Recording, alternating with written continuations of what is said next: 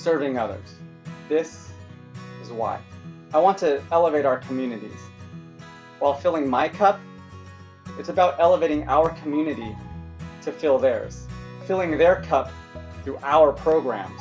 It's about spreading our light so others can learn to shine theirs. I've donated my talent, now I'm donating my treasure. Join me, donate your treasure. Anything helps.